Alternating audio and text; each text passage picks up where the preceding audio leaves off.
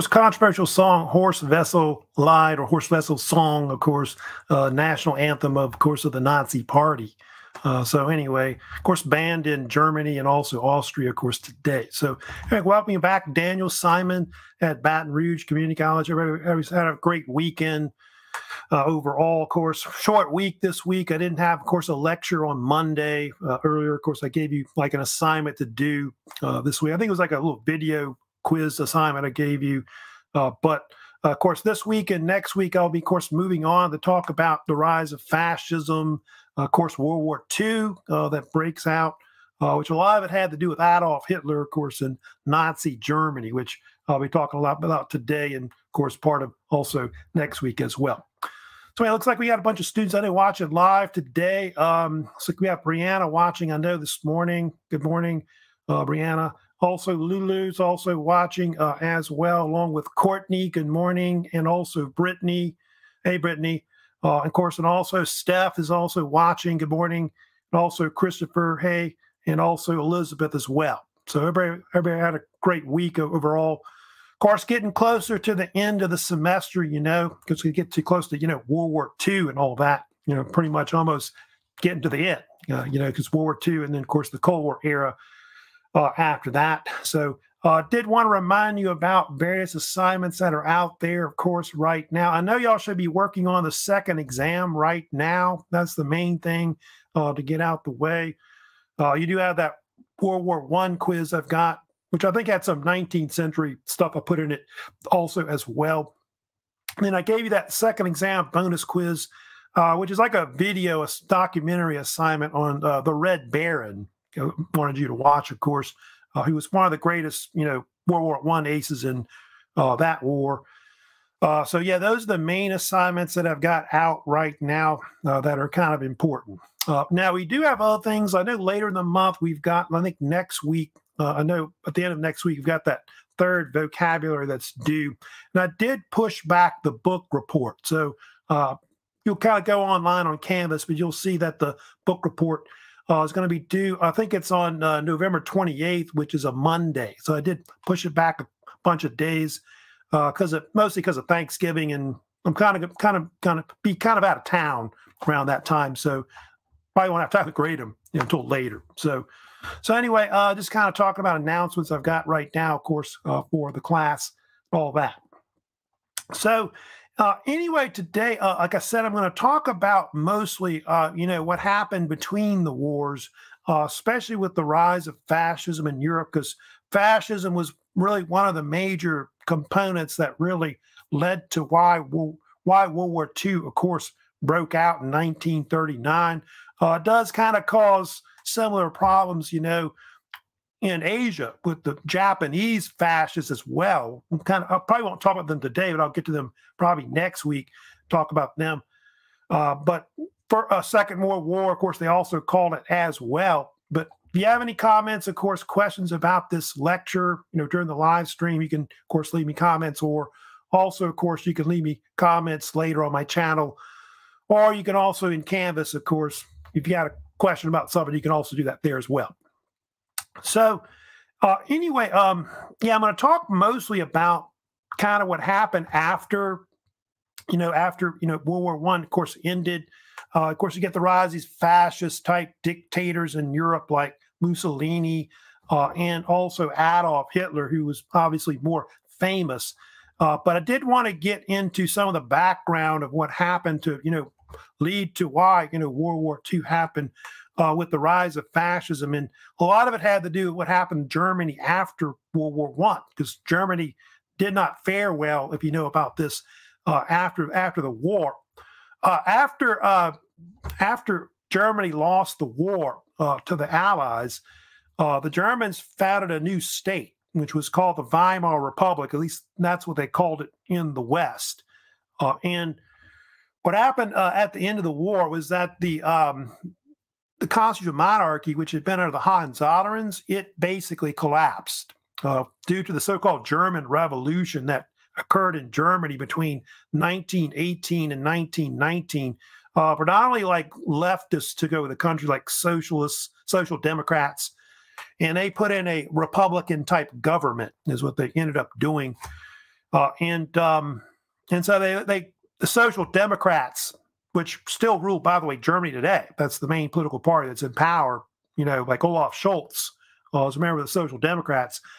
They basically formed this new state called the Weimar Republic, which was kind of like the nickname they called it from 1919 uh, to about 1933 although it had other names. Uh, I think the official names that they actually called, if you want, uh, they still call it the German Reich. A lot of people did, uh, if you know about that. And they also have the German Republic, Dutch Republic, you see there uh, as well. But those are various names that it was basically called. So kind of see here, image basically uh, the Weimar Republic. They got, got that new German flag they start to use, of course, afterwards. You can see is black, red, and yellow. You know, the current I guess, flag they got now. Uh, and then you got, I think that's uh, Paul von Hindenburg on the left, who was one of their presidents. That was it. Uh, it was called Weimar because that's where uh, the Constitutional Assembly was first established. You know, at that time, uh, I think really in 1919, I think was the actual year itself. And uh, but uh, you know about it, it was very it was a liberal democratic republic. That's one thing about it that was very famous, uh, which included direct representation uh, you know, where people could vote. Uh, not just men, by the way, but women. Women could vote, could also hold office. Uh, and so uh, this particular government that came into power had a bicameral legislature, by the way, uh, as well, which the so-called German parliament had two houses. they had the Reichstag and then had what they call the Reichsrat. And the Reichstag, what's the difference between the two? two different ones. Uh, the uh, Reichs, the Reichsrat was more like an upper house where the states in Germany would appoint like officials to it, basically. And the Reichstag was kind of like the like our United States House of Representatives, uh, where people are directly elected to it. And that's basically the main body that was probably more important uh, because of because of that issue with that. Uh, today, by the way, uh, the German parliament is called the Bundestag or Federal Diet, uh, if you want. Which, like I said, it's more more similar to the Reichstag uh, that we're talking about, or House of Representatives in America, or House of Commons in Britain, that kind of thing. And I told you, Scholz, although Scholz, of course, of course, is the current chancellor right now uh, of Germany. Oh, and that is one thing that is true about Germany. They got rid of the monarchy. If you know about this, uh, and so they have a chancellor who's like a prime minister that runs the government.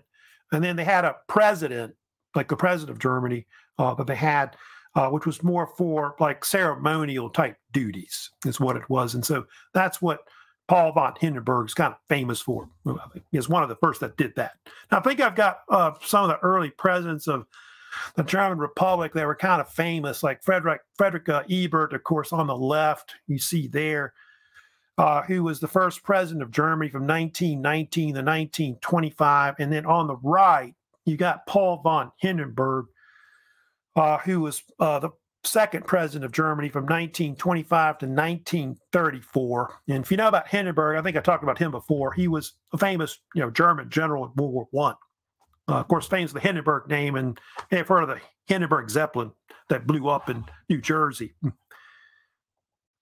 I'll kind of get into it and talk about also like the failures of the Weimar Republic, because that's one thing about the Republic. It, it kind of founders uh, after it gets founded, uh, which a lot of it had to do with the fact that Germany after World War One uh, had to pay a lot of debts, not just the war reparations, which I think I told you was 33 billion. Uh, they also had to pay off all their debts they owed from the war, which I've got the numbers right here, but they think that $72 billion was the amount of uh, like 72 billion. I think that must have been in, I think in what would be now German Dutch marks, would be like a trillion dollars today in American dollars, you know, basically. Uh, so had to pay this back, basically. And believe it or not, they did. Like the war reparations, I know, uh, were paid back by Germany uh, by 2010 like 12 years ago. I think Hitler didn't want to pay it, but uh, that's something they did do uh, over time. And so they, they think the combination of the high debts uh, and all the, you know, the thing, that all the money they owe from the war reparations, what it basically did was it created like really high, high inflation uh, in Germany. we think inflation's bad now, but inflation in Germany, like say around 1923, uh, was pretty awful. Uh, money itself was worthless. You could hardly buy anything with it.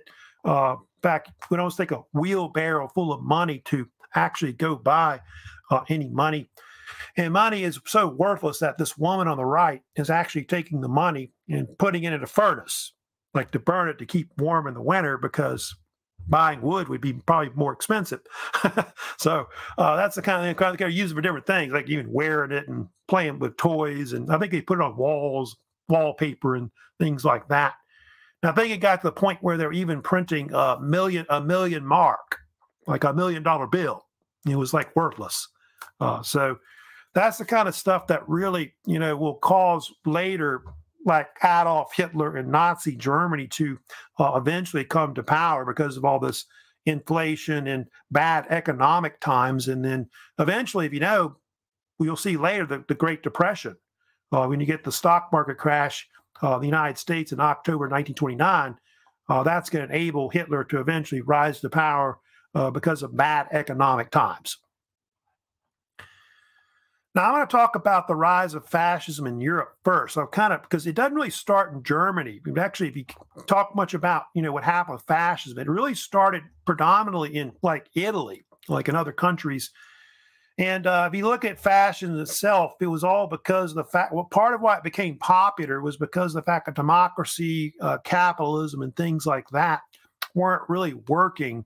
You know, in a lot of these countries like Germany and Italy and so they started listening to these totalitarian dictators, you know, and they pretty much even began to, to improve their economies, uh, things like that. But of course, it would later lead to war, uh, you know, in the future. Let me talk about like what exactly fascism is. Like, what what is a good definition of fascism? Uh, fascism is like a, a right wing type political uh, philosophy and movement uh, that was uh, composed of ultra nationalism. They're very very concerned about you know the state and trying to restore order to I guess the way it was before the war, uh, and um, they wanted to you know restore their country to greatness, have great military, great economy, uh, even expand their country to take over parts of Europe or the world. Uh, and so that's the kind of you know movement that they they basically pushed a lot. Uh, the fascists, and although Mussolini, who you know was considered one of the first fascists, uh, didn't really see it as a political like ideology. He saw it more as a political movement that was like a populist thing, like a populist type movement uh, is what he kind of saw it as. Um, in fact, Mussolini saw it not as a left or a right wing ideology. That's something that was that he actually believed. He, he didn't think it was right wing. Uh, some people don't think it's either right wing or left wing. It was like neither one. Um, but he he kind of saw this idea of trying to restore and make Italy a major power, kind of like the Romans a long time ago. And so that's the idea of what these fascists wanted to do. Uh, the only thing about the fascists is that they tended to oppose things like they didn't like anarchism, didn't like democracy. Civil liberties are limited, you know, under a fascist type, you know, regime. Uh, they've got a lot of secret police forces and spying on people and things like that that they have so liberalism, Marxism, like left left wing things, are kind of rejected uh, by them. In fact, part of why fascism developed was because of the hatred of like Marxism and communism and things like that. Uh, is what what what pretty much they you know did. So that's why it kind of came about uh, because of that. Uh, and uh, so, yeah, they tried to do this in Italy. They tried to do this in Germany. I guess in Spain. I think in parts of South America, like in I think Chile and other places, you know, I think even like in Peru, I think for a while, I think there was kind of a movement. I think it was to try to do that uh, also, or Argentina, I think also as well. Uh, here's, by the way, a quote by uh, Mussolini to kind of share with you about uh, his his movement. But he said that fascism was not the nursling of a doctrine previously dra- drafted at a desk. It was born out of the need of action. That was the one he said the most, and was action. Uh, it was not a party uh, but more like a movement, like a populist movement is basically what it was. And then over time, it became like a political type party in the end. I'll get to the fascists in Germany. Uh, they're very, you know, they're racist. Uh, they kind of view the Germans, like the Germans, as some kind of uh, master race. Uh, they kind of view like Jews, Slavs, and other types of people uh, as being inferior. They even talk about, you know, German Nazi sci- Aryan science and uh, things like that as well. But Mussolini here, you see, uh, was considered the first fascist that would take control of a country uh, in in Europe. Uh, in fact, he was the ruler of Italy from 1922 to 1945, serving as prime minister of, of the country. Uh, the weird thing about Mussolini uh, was that he was actually not originally a fascist. In fact, he started out as a socialist, uh, going back to World War One, uh, where he had been a veteran in the war. Uh, he was a school teacher. Uh, he was a journalist, I think, of actually a socialist newspaper. And then he kind of turned fascist, of course, after the war, because I guess he didn't really like what the Marxists were kind of doing uh, in all that. He was later called Il Duce, which I'll kind of explain later uh, about that. Uh, and um, in 1919, uh, Mussolini formed the National Fascist Party, usually called the PNF for short, which, like I said, was heavily rooted in Italian nationalists, extreme nationalists. Uh, they wanted to make Italy this major power in Europe that would rival like the like a modern Roman Empire. I think is kind of what he viewed, uh, where you know the, the Italians would basically control the Mediterranean Sea, uh, as the Roman Empire did uh, a long time ago. By the way, the uh, the actual name is the National Fascist Party is the Partito Nazionale Fascista, Fascista. I guess they say it in, in Italian, PNF, I guess for for short. Uh, so that's where we get the word fascist kind of being born uh, from that. But if you know if you know about the the fascists, like the whole you know the name of the origin of you know where it came from, uh, was from the fasci symbol, uh, you know, which was adopted from Roman times, like in ancient Rome uh, a long time ago. And the fasci was a symbol of Roman power and authority, where I guess a certain ruler had power over another. Uh, and um, the word fasci is a is a, a, Latin word that means bundle because uh, it was like a bundle of wooden rods that are bound around an axe, which I think it implied that the Roman people uh, were many but one. Uh, and the, the fasci has been used a lot. Uh, I think even in America, if you can go to like I want to say the um, U.S. Congress, and they have fascies on the wall, like in the House of Representatives. So it has been used like in the United States uh, as well. So some of the fasci- the fascists kind of took uh, Italy and they began incorporating it like in flags and other symbols and things like that, uh, etc. Uh, going back to this image right here, of course, one thing about the fascists, they had like these paramilitary forces that they created uh, in the country, which were often called the black shirts, is what they were dubbed.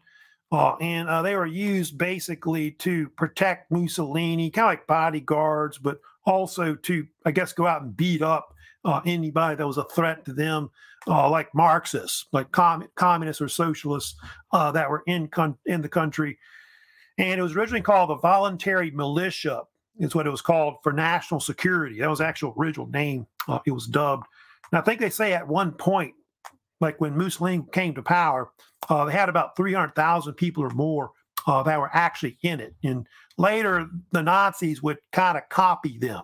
Like the, I think the brown shirts were the Nazi SA, uh, of course, would be kind of similar to that organization that he uh, created uh, originally.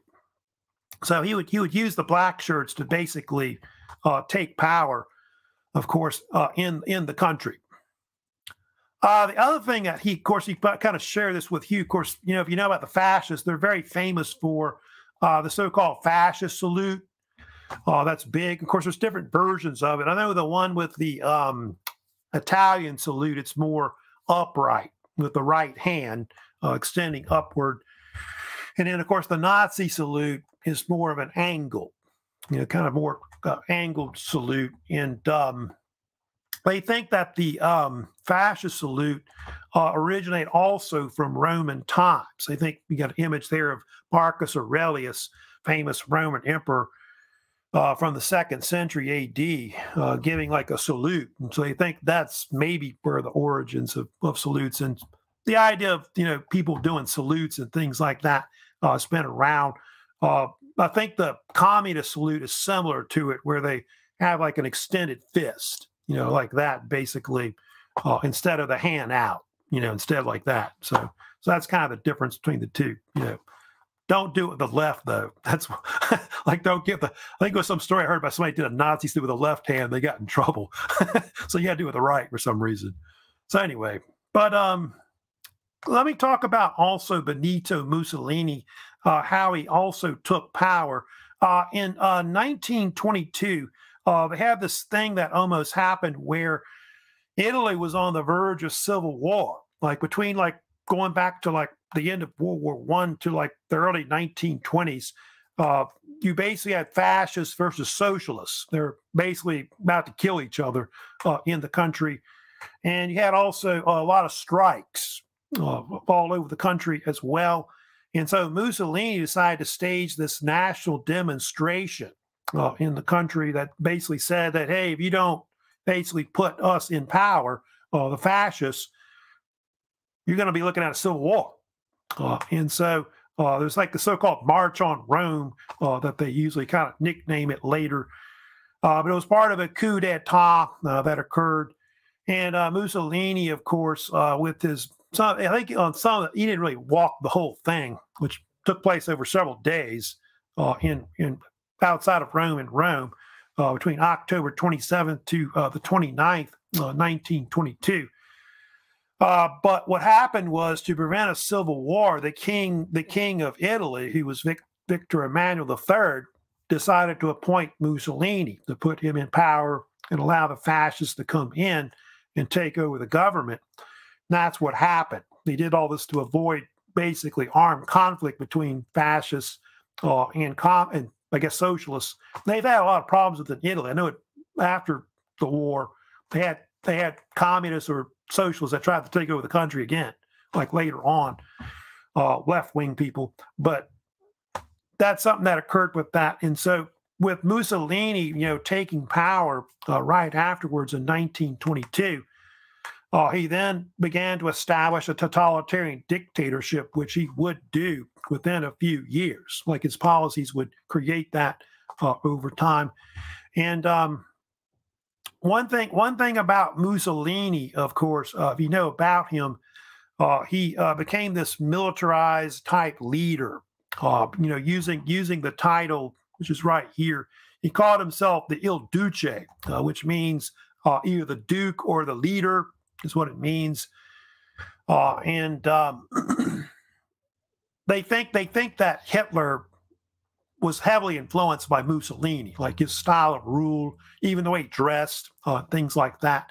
Now, I know there was a story later where uh, Hitler sent an autographed copy of Mussolini to him to get it signed because he was kind of a big idol of Mussolini. And Mussolini sent it back to him unsigned, saying, "Who are you?" Uh, that kind of thing. So yeah, that's the next thing we're going to talk about next. We're going to, of course, get into uh, and talk about the rise of Adolf Hitler, of course, uh, in Nazi Germany, which, of course, will eventually take over uh, Germany in the 1930s. Uh, let me first talk a little bit about the background of Adolf Hitler. If you know about Hitler, he was not originally German. He was, of course, from Austria.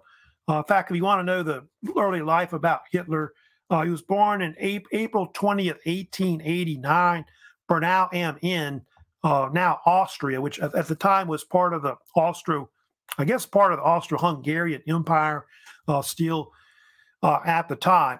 and um, I'll kind of talk about his early life a little bit to kind of give you some more background. But Hitler, Hitler, uh, you know, would later end up being Chancellor of Germany, 1933 uh, to 1945. Uh, he uh, pretty much was a totalitarian dictator. Of course, we'll see later, but early on, uh, that wasn't the way things were with Hitler. Hitler, of course, uh, if you know about it, was kind of a high school dropout. He never completed high school uh, in Austria, uh, flunked out, I think, his senior year. and he later moved to Vienna, where he dreamed of being an artist, but couldn't get into art school either. and then uh, 1913, if you know about it, he moved to um, Munich, Bavaria in Germany. And of course, World War One uh, broke out. Uh, that's an image, of course, of Hitler, kind of schoolboy Hitler on the right. And the one on the left is Hitler when he was uh, in the uh, Bavarian, uh, he was in a Bavarian regiment in Germany uh, during the war.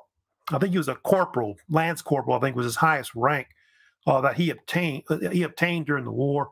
That's him on the far left under that X. You can see there too in that image overall. Uh, Hitler, Hitler later, uh, what happened was after the war, uh, he, jo- he joined. Uh, he was still in the he was still in the German army, uh, and he heard about these political parties that were in Munich, Bavaria. There was one that was called the German Workers' Party uh, that he decided to join.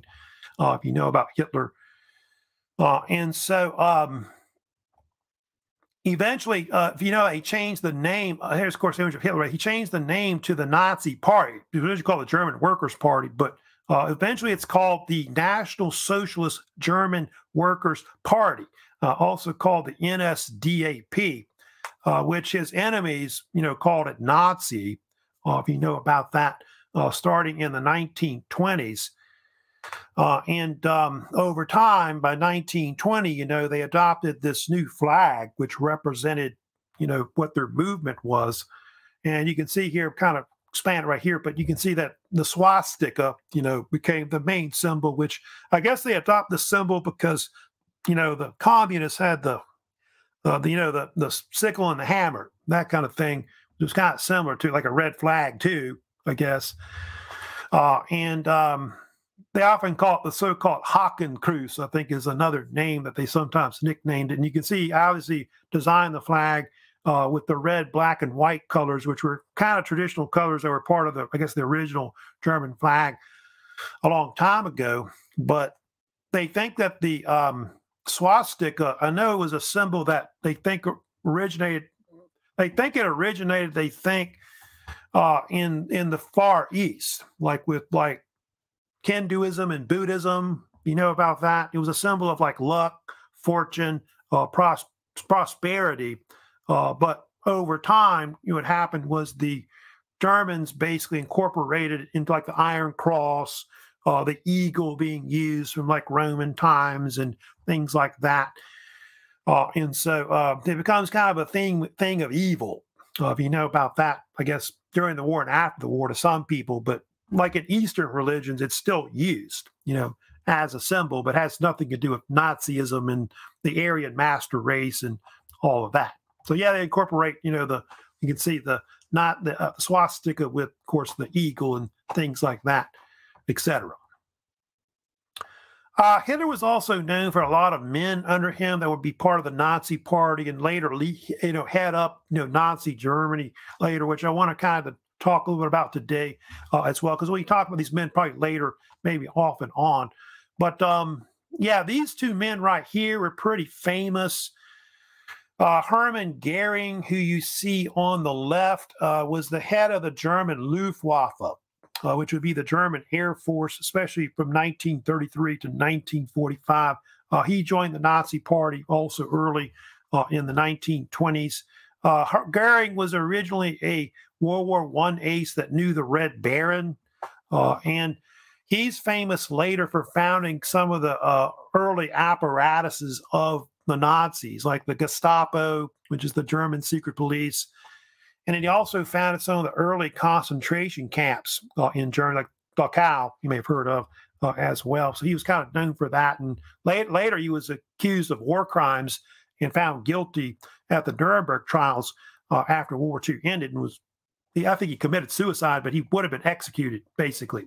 Uh, then on the right, uh, you've got Himmler, Heinrich Himmler, uh, who later headed up the Gestapo, uh, the Nazi secret police. And then he also led this thing called the SS, which is kind of notorious. Uh, the Schutzstaffel were also called the Black Shirts, uh, also usually two words. And the SS was this national security force of Nazi Germany. It was also used as Hitler's bodyguards as well.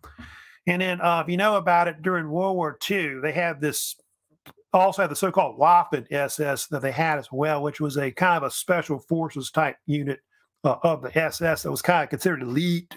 They were all kind of area Nazis and in it they were kind of big. Uh, and so um, that was something that they were they were kind of famous for. And uh, if you know if you know about um, you know the SS, they pretty much ran a lot of the concentration death camps uh, in World War II. Uh, that led to you know why the Holocaust happened. So they end up killing Jews and other people, you know, uh, that they consider to be inferior.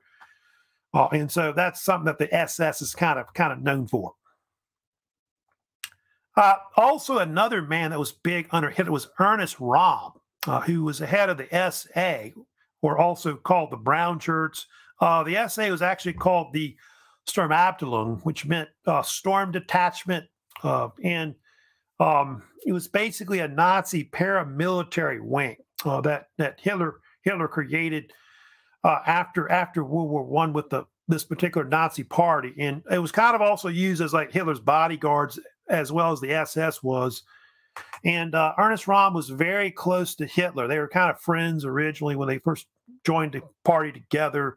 Uh, although, know about Hitler later turned on Röhm and had him killed in 1934 uh, in the uh, so-called uh, Night of the Long Knives uh, purge they have later with the Nazis.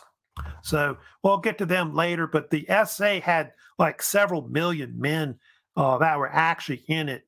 And really, up to the early 1930s, uh, Röhm was pretty powerful. He was up there with Hitler in power in the Nazi Party, and so Hitler had to later have eliminated uh, because of that.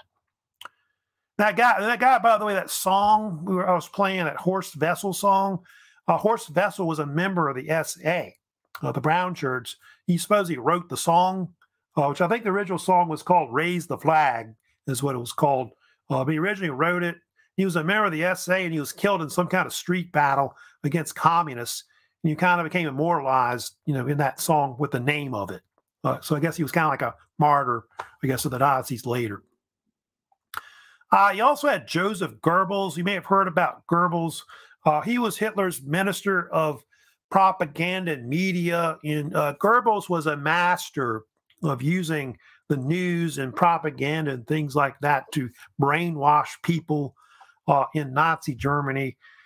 And so he's part of the reason why you know the Nazis were able to commit all the atrocities they did after, during during World War II, like elimination of Jews and other people like that. And pretty much they thought that Jews were non-human, uh, et cetera, because of of their you know beliefs through through using propaganda, uh, et cetera.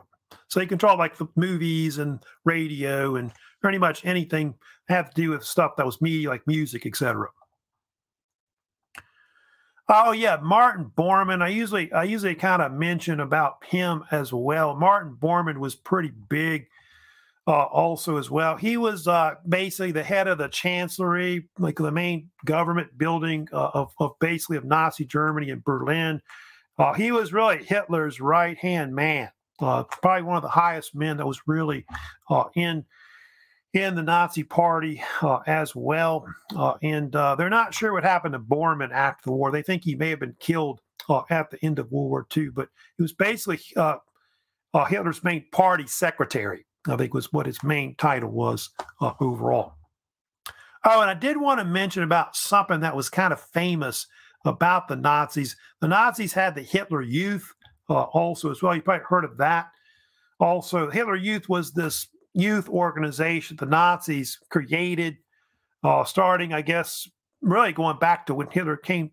When I guess when the Nazis were formed, they kind of formed it back in the 20s.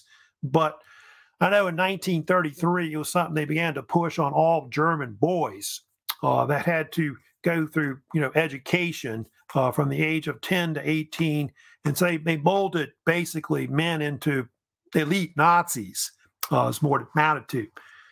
Uh, they did have different leaders. Uh, Baldur von Schirach, uh, Arthur Axmann was another one that was also in it uh, as well. Uh, and so um, brainwash people to, you know, be like Nazis when they get older. Uh, so I guess it's kind of like the Nazi Boy Scouts would be kind of what it kind of was.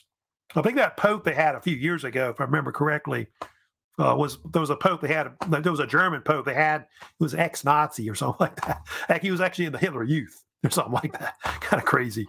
Um, so there's the two guys that were kind of headed up the uh, Hitler Youth for a while. I want to get into next and talk about how Hitler seized power, which uh, he would try to do early on uh, in the 1920s. Uh, if you know about Hitler, uh, there was this thing that happened called the Beer Hall Putsch, uh, which was a failed coup uh, by the Nazis to take power in Bavaria, where Munich is the city that was, I guess, the capital of Bavaria at the time. Uh, and uh, if you know about it, it actually happened this week, like yesterday and today. Uh, is like the 99th year anniversary of it. So I guess next year will be 100 years, I guess, when it happened. Uh, and um, it was kind of an image of Hitler. And uh, he got the backing of some like military guys. There was a guy in the middle named Erich von Ludendorff, who had been kind of second in command as a general under Hindenburg on the Western Front. He actually backed Hitler uh, to basically try to seize power. Because uh, I think they were going to do like Mussolini, try to take power uh, in in in Bavaria and then take over the rest of Germany uh, as well. And so around 3,000 Nazis tried to take control of the Munich government, like all the main buildings uh, in in in Munich, Bavaria. But the police came out, the Munich police came out and actually uh, squashed the whole thing uh, 16 Nazis were killed uh, in this incident. Uh, I think it was a case where Hitler was almost killed, like assassinated, uh, when he tried to do it. And he was arrested for treason at that point.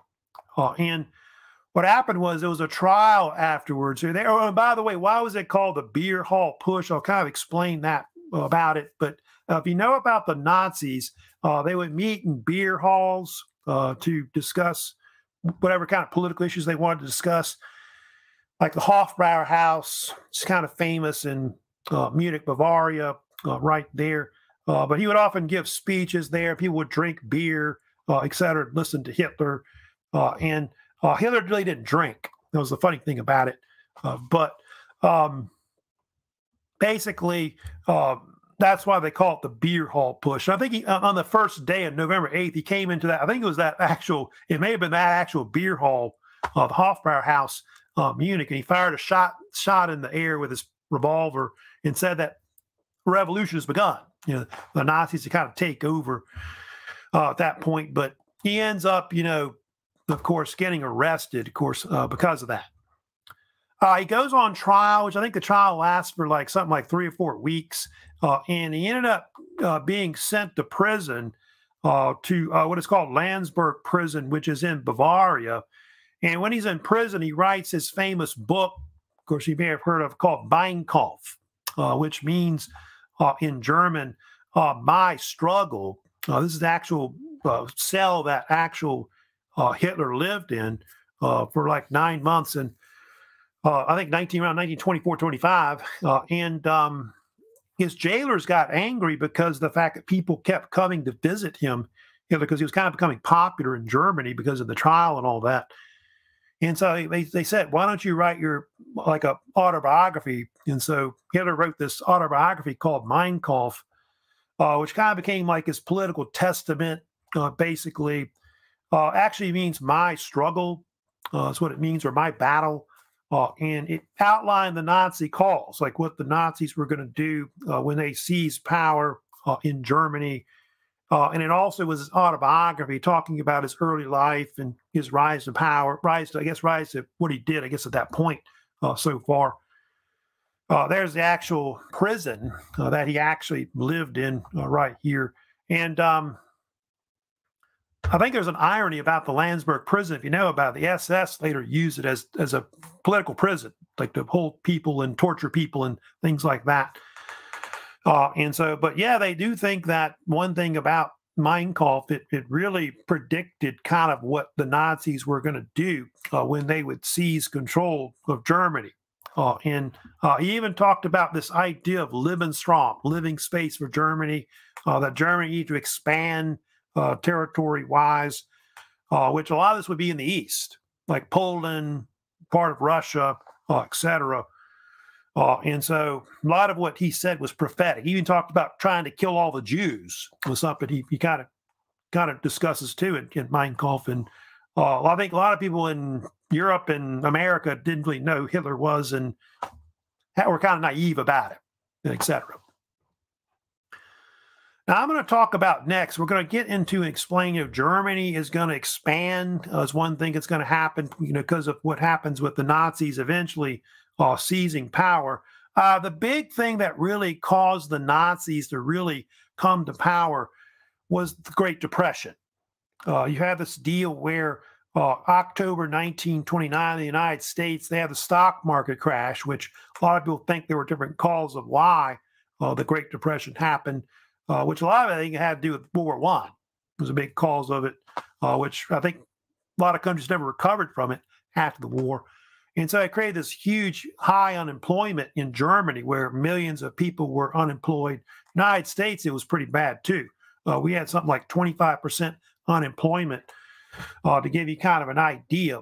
Uh, and so that's that's kind of what caused Hitler to become more popular uh, and try to you know campaign to uh, get more Nazis into power politically, uh, especially in the Reichstag in in the German Parliament. Uh, and so, uh, because of this, Hitler decided in 1932 to run for president, which he did.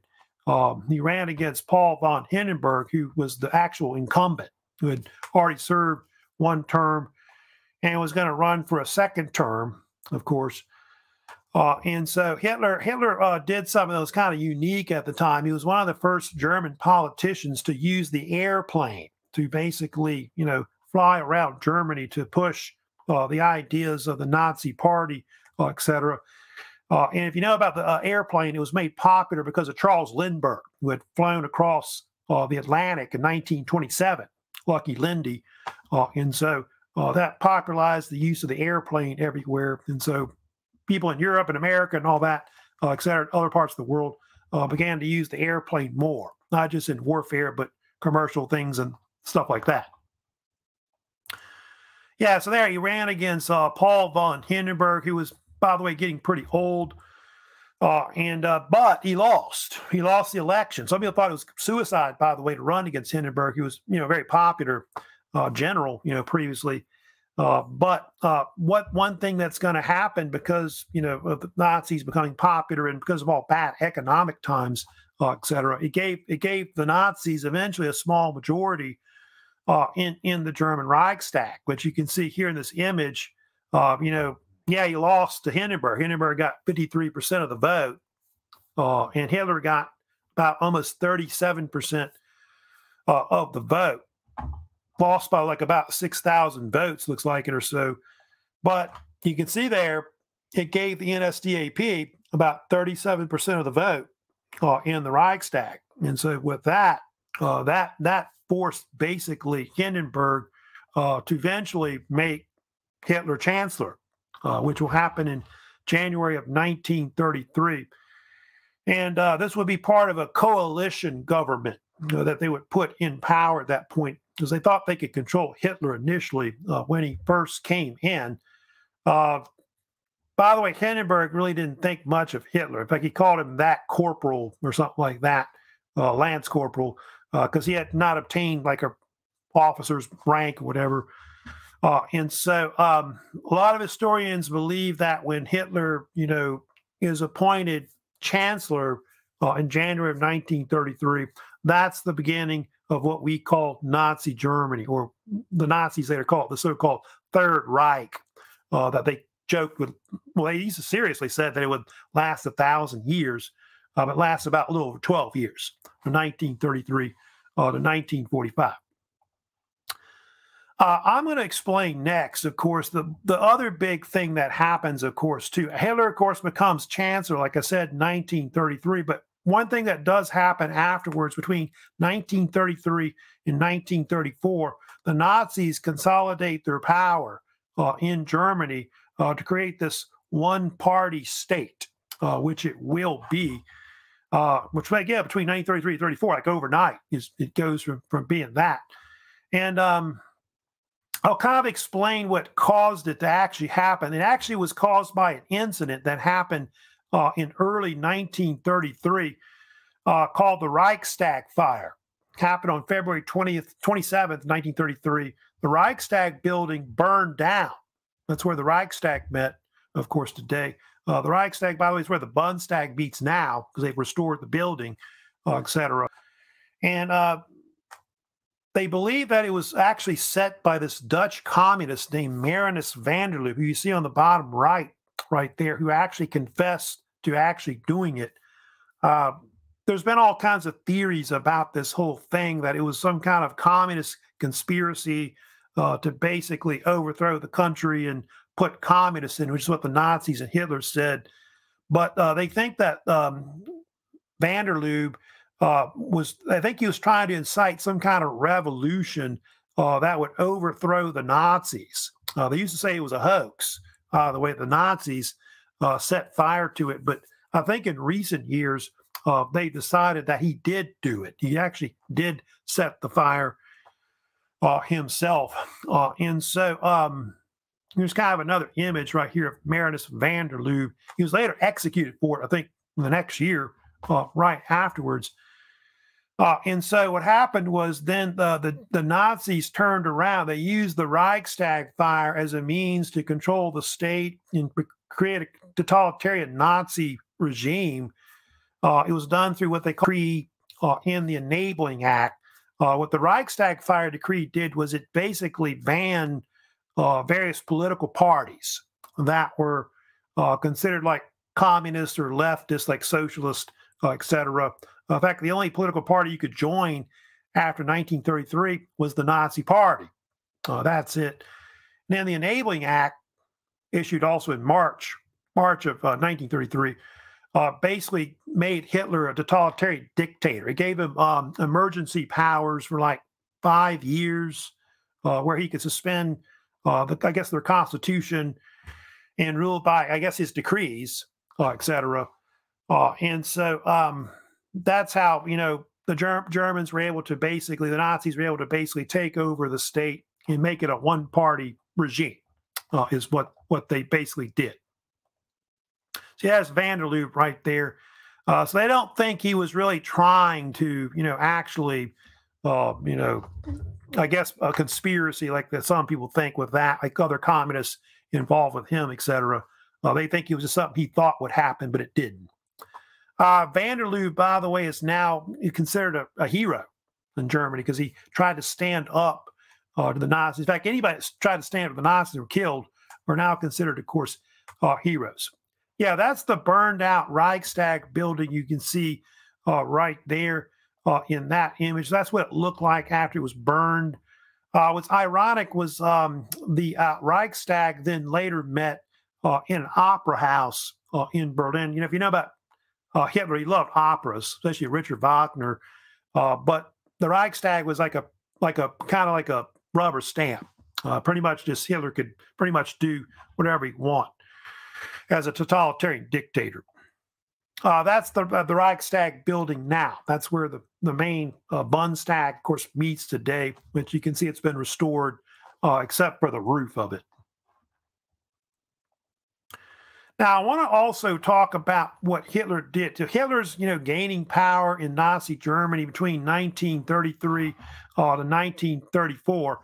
And so the thing that happened next was Hitler then consolidated his power even more uh, by trying to eliminate enemies that were, you know, within the actual Nazi party. And so they had this thing that was called either the Night of the Long Knives. It was called also the Röhm Purge, I think is another name they call it. was called all kinds of names. I think some people call it the Nazi Blood Purge or Operation Hummingbird, I think was another name uh, they called it. And uh, Hitler eliminated political enemies that were a threat to his power. Uh, and so Ernest Röhm and others were killed uh, under him. Uh, that's why people call it the Röhm Purge because he was the highest, I guess, official that was killed uh, under him. Because Röhm had control of the SA, like the Brown Shirts, and the Brown Shirts had like, I want to say, three million men in it or something like that. Uh, and he thought they might overthrow him and take control of the country. And so um, he took the SA and he merged it with the German military afterwards. And he made, by the way, the German military take an oath to him later. Uh, when, when I guess he takes over really the whole country. Because that's the thing that happened next about Hitler. Uh, if you know about it, Hindenburg dies uh, in August of 1934. And so uh, he takes the presidency of Germany and he merges it with the chancellorship uh, to create a new position, which is called Führer or the Führer, uh, which meant the leader. The Führer, I think, as they usually say, the Führer. Uh, and um, it was done through a national referendum where basically the German people voted on it, and supposedly 90% of the people voted yes uh, for him to become Fuhrer. Uh, what happened to the other 10%? Yeah, that's the thing that's interesting about that one. Um, by the way, the Nazis uh, went with a slogan afterwards, which uh, the major slogan of the Nazis in the Third Reich was Ein Volk, Ein Reich, Ein Führer, which if you go to the German, one people, one empire, one leader. So they're kind of trying to just, you know, restore the whole German empire idea, uh, having like a Kaiser, but it's more like a totalitarian dictator uh, that's actually ruling. Now, I wanted to get in next and talk about also what Hitler did uh, with Germany. So, after he took over and became the Chancellor and Fuhrer of Germany, uh, one thing that Hitler did was he began to rearm the country. So he begins to rearm, you know, the whole armed forces, like the the, the Wehrmacht, the German armed forces, uh, the Navy, uh, the Air Force, the Luftwaffe uh, is created and expanded uh, pretty much uh, on his watch. Which a lot of this was done very secretive, uh, even done in foreign countries. I think there was some cases where they even had some armaments built in Russia, et cetera. Uh, and so um, Hitler then starts to look around for allies, like people that want to, you know, help to join with with fascists like you know Germany uh, at that point. Uh, and so uh, you see here, uh, he then founds this alliance with Italy. He wants to kind of get with them because uh, they're kind of a right wing type government like they are. As well. And so Hitler forms the so called Rome Berlin Axis, as they originally called it in 1936. And then later on, the Allies would call it the so called Axis powers uh, that fought them uh, in the war. And uh, initially, the main countries in it were Germany, Italy, and then later Japan joined in 1940 uh, in what became known as the Tripartite Pact uh, as well. But other countries in Europe were part of it as well. Like I think Hungary, Romania, and a few other countries uh, also joined it as well. But mostly the two main ones were in in Europe were, of course, Italy and Japan. So it was kind of like an economic alliance, uh, and later a military alliance, and it kind of is what got basically um, Italy involved in World War II. So here's kind of an image showing you, of course, and we'll get to the Empire of Japan, uh, led by Emperor Hirohito uh, at the time. Uh, they're kind of get sucked into the war uh, also as well. But those are the main Axis powers that will fight the Allies in, in World War II, which the Allies in World War II will be uh, France and Britain, Soviet Union, United States, uh, China, etc. Uh, one more thing, too, about the fascists. They did help and kind of instrumentally uh, aiding uh, Francisco Franco in taking over Spain uh, in the late 1930s. Spain went through this thing called the Spanish Civil War, uh, which lasted around three years.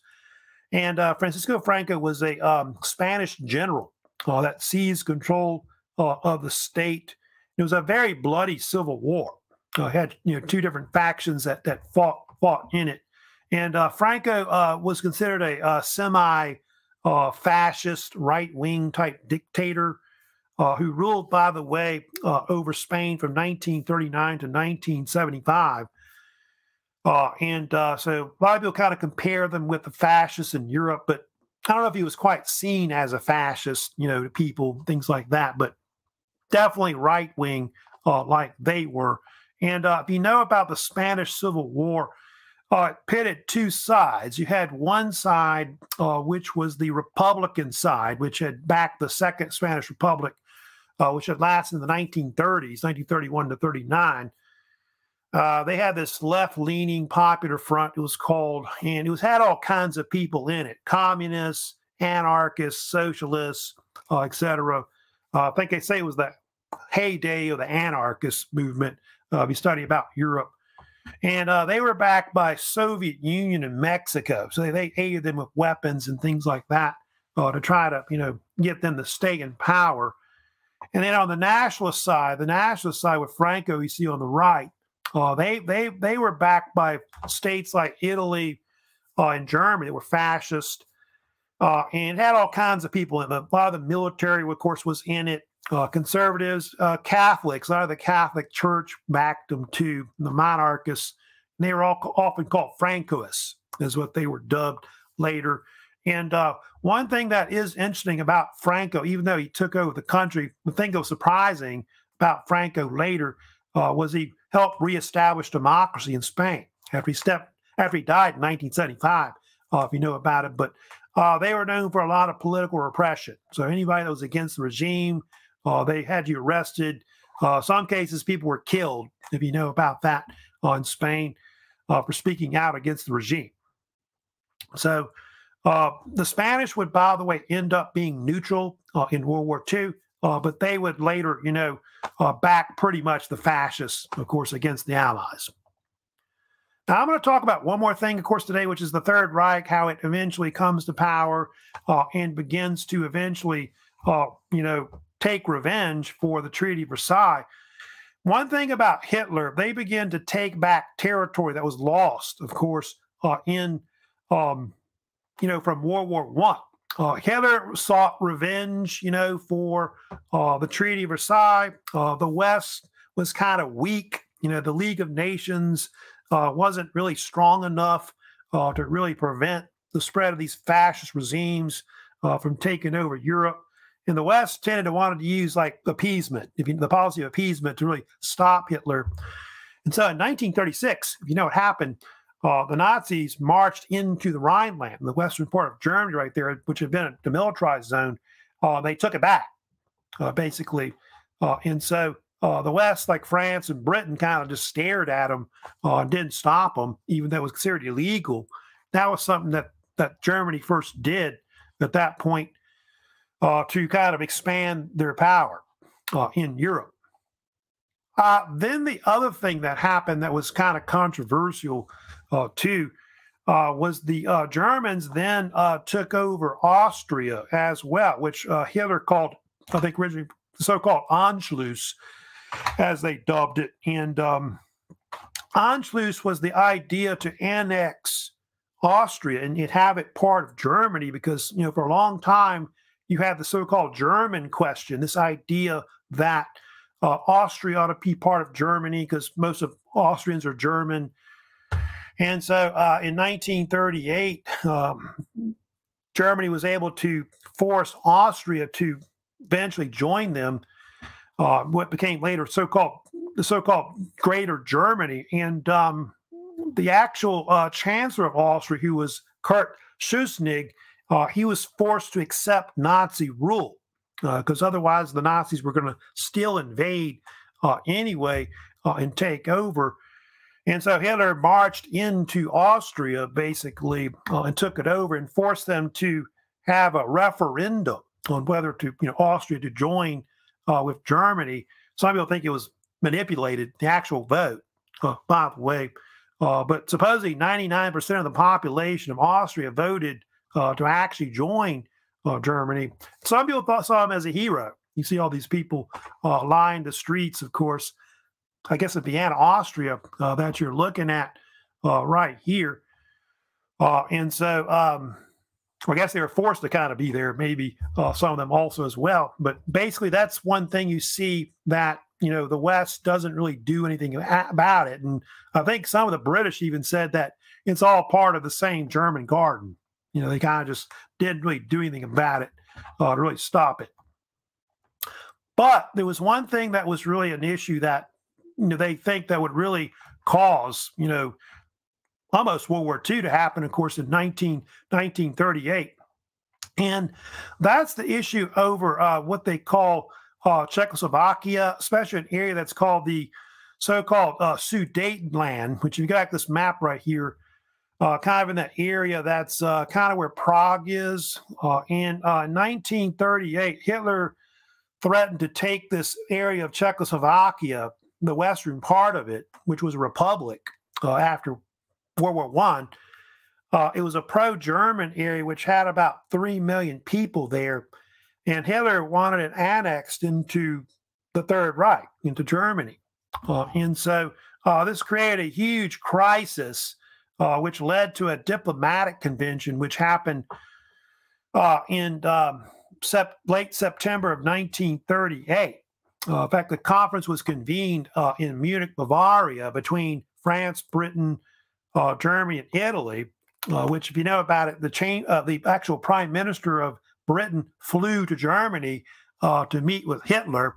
Uh, Neville Chamberlain, you're looking at right there, and um, eventually they met over like two days, September 29th to uh, September 30. They decided that they were going to basically annex part of the western part and give it to the Germans uh, with what was called the so-called Munich Agreement or something called the Munich Pact.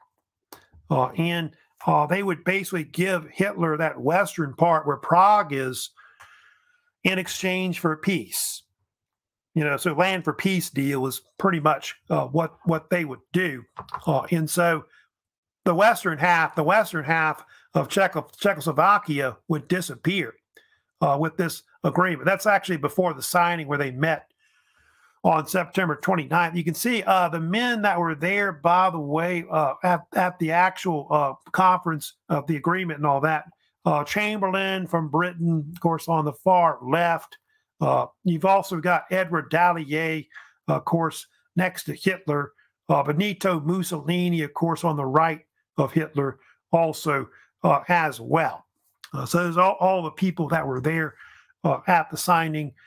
And of course, the um, you know about the uh, Czechs? The Czechs called it the Munich betrayal because it basically sold their country down the river, is what they did uh, in exchange for peace.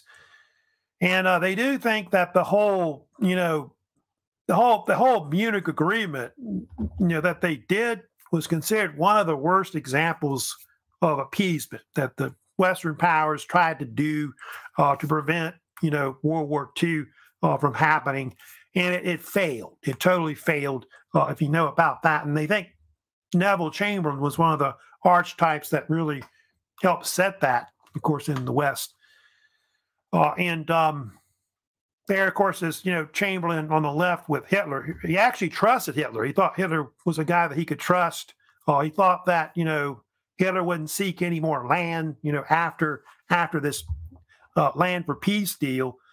And so what Chamberlain did, he actually flew back to uh, to Britain, to England, you know, and uh, when he got off the plane, uh, he held this piece of paper in the air. You see there, you know, the whole thing that Hitler promising that he's not going to, you know, take more land. And he said the famous statement, "I believe it is peace for our time." Uh, and of course, that that proved to be, you know, totally wrong. It was one of the things that happened. totally erroneous statement by by Chamberlain. And, you know, within around a year, they're going to be, of course, uh, at war uh, with Nazi Germany. Uh, so uh, they couldn't stand him. They should have probably said, no, you're not going to take that land or it's going to be war. Uh, but the allies like the West, France, Britain, really didn't want to fight a war because uh, they had just fought World War One, lost a lot of men, lost what, probably three, four million men. so they didn't really want to fight another war at this point. Uh, so yeah, peace, peace for our time. That's of course the famous, you know, quotes you see there uh, with that that of course statement by Chamberlain. Uh, by the way, you can see here what happens to Czechoslovakia. Uh, basically, it gives uh, the Nazis and Hitler a green light to go in and take the eastern part uh, of also Czechoslovakia, which they'll divide into two states: Bohemia, Moravia, kind of a German protectorate. And they create a country, Slovakia uh, which is in the eastern part of it uh, as well. And you can see uh, Hungary uh, kind of comes in and kind of annexes part of it also as well.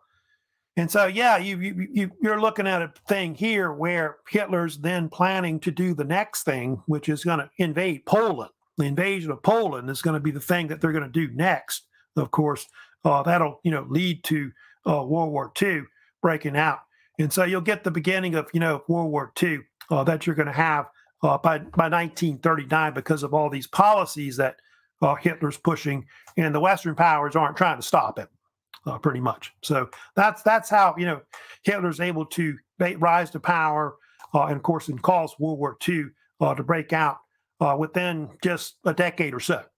Uh, this, of course, occurred. So next week, next week, I'm of course going to be moving on uh, to talk about you know World War II. I'll talk about the outbreak of World War II. when Nazi Germany invades Poland, that's going to bring in Britain and France into the war. So I'll talk about the early part of the war, uh, I'll talk about also how um, what happens. You know, the Soviet Union gets in the war, course, when Nazi Germany invades them. Then I'll also talk about how the United States uh, enters the war December 1941 because of the rise of the Empire of Japan uh, that attacks, of course, uh, Pearl Harbor. So uh, that's pretty much it for the week. Uh, before I go, I did want to remind you about assignments that I had out there. Uh, told you, of course, the second exam, uh, of course, is the main assignment uh, y'all need to, of course, be working on right now. Uh, World One quiz also as well. Now, I did give you that second exam bonus quiz also to do as well. Of course, next week we do have some assignments due as well. I think the I know the third vocab is going to be coming due uh, also as well. And then don't forget, I did push back the book report date. Uh, I think I told you it was Monday, uh, November 28th is going to be the date of when it'll be uh, when it'll be due, you know, in Canvas. Uh, so I, am giving you more time, you know, over Thanksgiving to kind of work on that later because uh, we don't have too many weeks left, of course, of classes at BRCC. So, anyways, kind of talking about you know rest of the semester and all that etc. I'm thinking our second, ex- uh, our our final exam is probably going to be mostly like on like World War II. I think that's what I'm kind of looking at uh, for now. So that's it for today. Let's look like I have any questions. I know comments, of course, but uh, like I said, if you have a comment question, you can always leave those later to me uh, on YouTube or also uh, in the uh, comment section, in the discussion section in Canvas. So that's it. Y'all have a great weekend, by the way uh, coming up. So y'all take care.